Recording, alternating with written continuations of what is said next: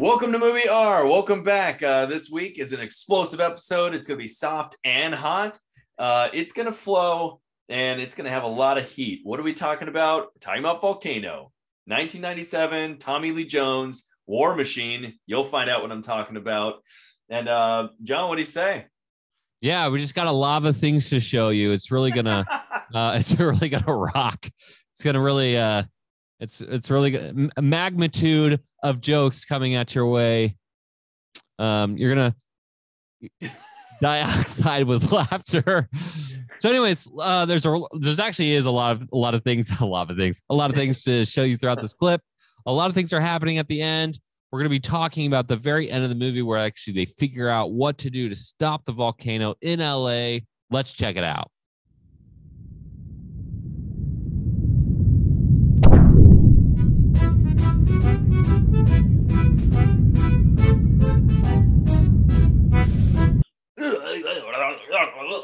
Okay. Patrick, what are you doing? That's the outtake. Great. I was going to start the thing with. Woo! Okay, here we go. All right, he's telling that one construction guy what time it is. Okay, officially the police were putting him there, and I don't know how. I All right, where's the Waldo? jackhammer. Can you see Waldo? I don't see Ooh. him. Oh, there she is. Well, Dean. Okay, can we just stop here for a second? Volcanoes, volcano, volcanic ash rather, is not like ash in wood. It's like fiberglass. It's it's ash from rock. It's toxic. and and the expert who knows this is like one of like I don't know, like probably 50% of the crowd who's just hanging out, breathing it in. If anything, she'd be wearing masks. Anyways, bothers Wait, me. also, construction worker in that picture, he'd be wearing a mask. The doctor is wearing a mask. Hey, at least he knows what he's doing. Yep. Half of the people in the crowd would be like, well, I saw in CDC six months ago that volcanic ash actually doesn't actually help out with masks. Well, John, this is the late 90s. No one used the internet like that. well, I I called the CDC six months ago. I wrote a letter. I, re- I like how everyone says they're ready. They would actually go around and actually ask every person beside by one. Hey, he's still jackhammering into the ground, causing all of this havoc. Obviously. Gotta blow. Worst part. Wait for it. It's like when soup erupts in a microwave after being cooked too high for too long. That ever happened to you? Most of you don't know this guy. Patrick and I do. Super cool guy. Uh, this is Kevin Coleman. If if you don't know, Kevin Coleman is the guy back at the EOC, secretly actually moving everything around because he was a resource unit leader. I like how actually in the EOC everybody stops actually what they're doing when the major event happens because they actually need to catch up of like what's actually happening, and that's that's pretty real. This part's brutal. Okay, Patrick. A lot is happening in that scene. We have. Uh, can you just do a? I mean, there was so much going on. Can you just do a very quick recap of what's going on in that scene for us? Wow. Okay. Yeah. So, uh, so Tommy Lee Jones makes sure that uh, the the construction guys know there's a there's a timeline, or that at least he can read his watch. He Hmm. then picks up a jackhammer and proceeds to cause an earthquake, which then causes uh, the Where's Waldo scene to erupt uh, in complete chaos. At which point, uh, the police leave two of their own in a, in a parking garage, or it looks like a cave under the city. Uh, which then uh, the volcano decides that it's angry that that people are starting to get that the chaos is starting to turn to order, and it starts shooting fireballs at people. Uh, and then from there, wh- what happens from there? I think that's I think Well, it starts fighting The, back. the best foreshadow ever of we're done here. Immediately, we're done here. Yeah, that's great. Um, Yeah. my my favorite thing is the the the so many hats that the uh, that Tommy Lee Jones incident commander is wearing. He's he was at the EOC at the beginning of the movie. He's leading the EOC. He's the boss of the EOC. EOC. Then he eh, he like he fulfills every single role. All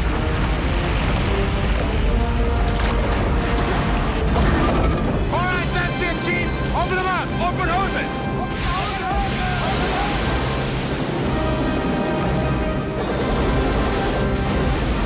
And you're welcome. That is emergency management. Um. Okay, so let's talk about what's real, what's fake here, because a lot's going on. Um. Okay, first of all, scale of one to ten, Pat. Uh, how real is this scenario? Uh, as far as there being a, I mean, I thought certain parts of it were more realistic and other parts were fake. Instead of just judging the whole thing, uh, like the medical, the medical scene with all the, I mean, somehow there was an influx. Maybe it was outside a hospital. That would make sense. Doctors and nurses evacuating a hospital and evacuating Hmm. their patients. Yeah. But there also being a bunch of, uh, uh, not search and rescue, but uh, first responders there as well. All everyone kind of trying to figure out who's who. It wasn't organized at all, but maybe they never practiced an earthquake scenario or a volcano scenario, so they never had to evacuate the hospital because of an earthquake or a volcano. So You gotta. Uh, LA would practice, have to practice uh, uh, uh, at least an earthquake scenario. yes, but maybe on a tabletop or a drill, not necessarily a full scale for a hospital and actually bringing people outside Fair enough. you know, putting them in Yeah. dangerous situations. So that part may be more realistic with all the chaos of people trying to help other people um, heal or at least get triaged. That area seemed like a triage area, uh, but there just seem to be like doctors and nurses all over the place, uh, which could be realistic. But You know what? That that scene is mayhem for a lot of reasons. I'm going to say that's pretty unrealistic because they are several days into this event now, and to think that they are going to either do triage right outside the hospital or that like everybody in the hospital mostly were able to walk. Did you I notice that? Like I think this all happened on the same day, didn't it? Or is this the day? Or this, this is is at the very end of the movie, so after. it- oh, maybe it was the they've day already after, been yeah. tracking this for a couple days now. Yeah, you're right. Um, yeah. So I- I'm gonna say I'm just gonna go on a limb here. I'm gonna say it's pretty unrealistic. I'm gonna say maybe a four out of ten because some oh, elements, together. yeah, like the the SWAT, the SWAT not having enough people to do the ordinance, so they're just going to literally grab an emergency man or just grab somebody and say, "Hey, can you can you jackhammer this into the ground and put some TNT there?" I feel like I feel like that just wouldn't happen. That's just not going to happen. Mhm. Um, no. I feel like triage outside of directly outside of a hospital in an earthquake, they would have a different evacuation zone. I don't know. There's like a lot of things happening here where I'm like, uh, Well, maybe they were in the process of getting that done, but that scene was just everybody clumped together, trying to triage, trying to just heal people right there in the in the parking lot. I assume that was a parking lot. Um, and our geologist right in the middle of it for some reason. yeah, I don't know. Like the, I get people wear many hats in a in chaos, and that okay, that's why I get like an extra two points there. But they like lost like six points when I saw this happening during the earthquake part of the volcanic eruption. Like I'm done. you're not you're not putting that you're not putting that cable into the team like that's not so okay um yeah, Real not very not fake. very realistic. not very very realistic but uh the elements of people not knowing what to do when they're not used to a specific disaster type or not b- wanting to believe it's x you know they always want to like pair it off to something else. A good example is the earthquake that happened in dc what 2011 or 2012 um where like they did there was a new fault line like they they weren't aware of the fault line. And so schools were damaged uh, the Washington Monument was damaged, um, and people just really didn't know what to do. So, okay, like things can happen. Um, even like geo- geological events can happen that people just aren't tracking. I get that. That's why they get like four. Um, they still failed though. I mean, that's just that's just crazy. Oh yeah, well in all these disaster movies, you got the the director of FEMA or the director of the emergency management organization who's out there in the field, who's the hero, who's the, doing the life saving issues, who's helping be the operator, who's being one of the uh, field reps or the field guys. Yeah, uh, which they wouldn't be. I don't know if I could see you doing it, Pat. I could, you know, uh, sometimes you gotta take sometimes you gotta take things into your own hands, you know. hey, that's actually very real. How many times have uh, people just not not able to move fast enough or think fast enough on their feet where you just like, okay, I just have to do this. You don't have time to explain it to people.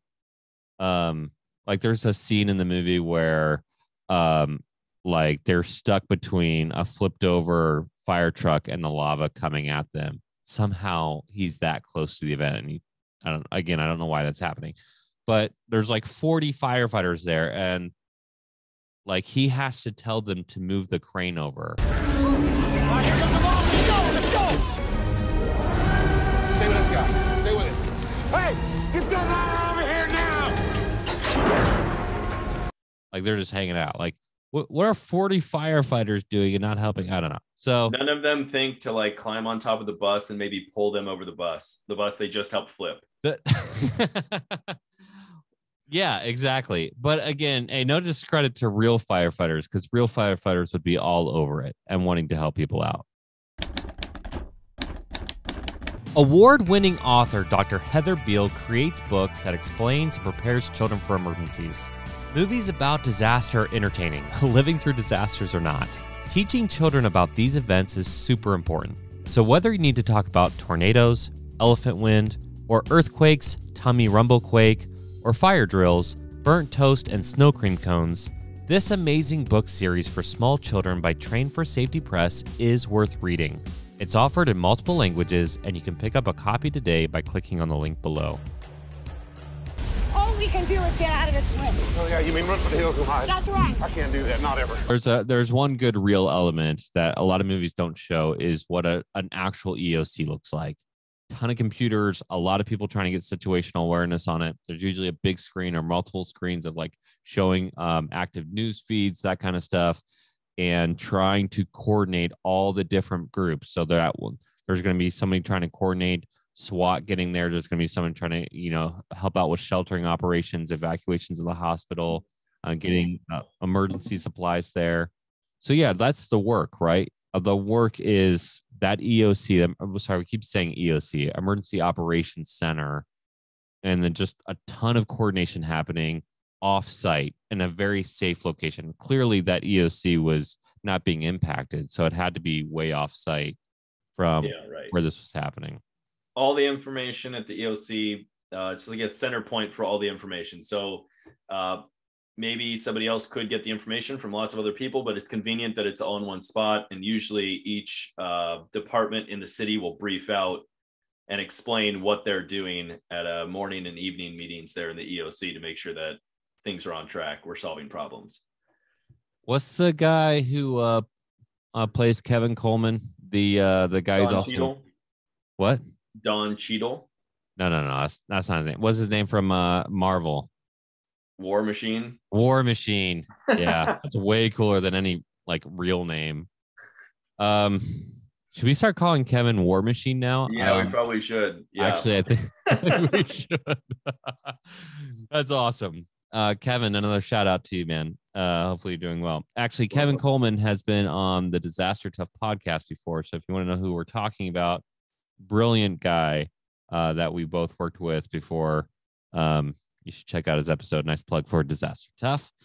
Um, okay, so we we've talked about what's real, what's fake. We kind of give you kind of an overview of what's happening. That coordination happens at an EOC and how an incident commander can be called out to the field with their SME, with their subject matter expert, the geologist, and uh, can get looped into operations in a way that can happen.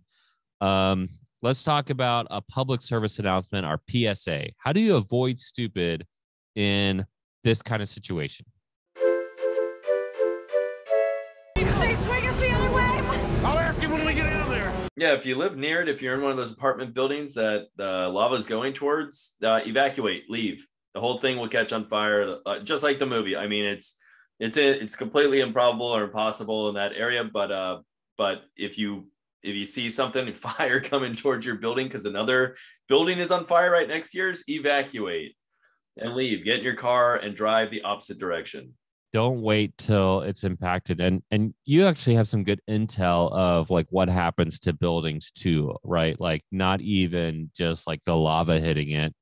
Buildings can get destroyed right by other oh yeah that- yeah yeah. There's something called sulfur dioxide that uh, volcanoes let off that's uh, also referred to as so2 and it'll deteriorate the uh, it's happened in it happens in hawaii whenever there's a volcanic eruption it'll it's in the air and it'll deteriorate any metal so any metal that's in the house, any part of the house that's made of metal, it'll start deteriorating it, whether it's the roof or the beams that keep up the roof or your microwave or any of your appliances or your electronics inside will become deteriorated because of SO2. So it's sulfur dioxide. And that's uh, every every volcano. That's what they experience in Hawaii a lot. Yeah i would say i would say my other psa that i would add on to that is that mask thing that we were calling out earlier. Like this isn't like again this isn't like wood it's not like your campfire ash which it can still be pretty harmful obviously but uh cover cover as much as you possibly can. Um that's that's basically fiberglass that you're breathing and get in your eyes. It's extremely itchy it's really bad for your lungs the uh, so2 is actually really bad for your lungs as well so anytime that you're having to deal with this or you live in that kind of region just be aware of that. Like that ash is really dangerous. It's not like snow. I, w- I once heard somebody compare it to like, oh, it looks like snow's on the ground. Well, that snow can kill you. So we talked about volcano today. We had a lot of fun talking about volcano. This scene that we we watched at the end, quite hilarious. But we're very proud of Tommy Lee Jones representing the best emergency manager of all time by integrating emergency, uh, you know, emergency operations at the EOC by integrating with the firefighters, by integrating with SWAT and setting off ordinances, by you know helping out literally with everybody. Yeah, I think he was uh, John. I think he was promoted after this to the Men in Black. Actually, You know what? That's why I never heard about. If you like this episode, if you like our a review of volcano, if you have ideas to how to protect volcano, if you live in a region like that and you have some ideas, or you think this was kind of a fun take on the movie Volcano, uh, make sure you check out our other movie after action reviews, and also check out the Readiness Lab of which we're a part of. There's a lot of cool shows on there. We talked about uh, Disaster Tough podcast, of which I host, but we also have other really great shows by other great hosts. So make sure you check out the Readiness Lab, and we'll see you next time. peace. Peace in the Middle East. That's getting cut. Um, although I do No. want it, I do want that to happen. Movie AAR. Movie AAR. Movie AAR. So was this the was this the prequel, John, to Men in Black? I mean, did he prove himself? I mean, it did seem like the volcano was shooting rocks at fiery rocks at the humans, setting them on fire and killing them. I think maybe that that volcano was an alien. this is a really dumb theory. I think that that's it. Yeah, and Men in Black. This is the this is the prequel to Men in Black. the prequel to Men in Black. Um, the origin story of Yeah, Kay's Kay's real origin Kay, story. Kay's real origin. What's his character's name in this movie? Crap. we don't even I we don't- can never remember people's names. All I can think of, um, yeah, is Men in Black. I don't know. Uh, his okay. hat his hat said Dem, so he could be his name could be Dem. Department of Emergency Management. Um, Kay's real origin story wasn't about his uh Men in Black. They they they do the thing right in the 1950s where he sees the aliens. Yeah, yeah. I mean that I Maybe mean, as Men in totally- Black, he was uh he was placed in Los Angeles because Yes, and there's just a part of the story that they didn't tell, and that's his short stint as the emergency manager of Los Angeles, in which there was a volcano monster. and they try to model him after me. Clearly, You weren't You, you weren't alive? What? Oh, In 1997, I wasn't what? alive? I was alive for several alive. years. It's hard. It's hard to do. It's hard to remember in the moment. It's hard to just do it. So um, It's hard, like rock hard. Uh, I mean, lava isn't really that hard. It's pretty soft, right? but it's pretty hot. It's super hot. It's soft, but it's hot. Get ready for a soft and hot episode. Movie AAR. Movie AAR. Okay.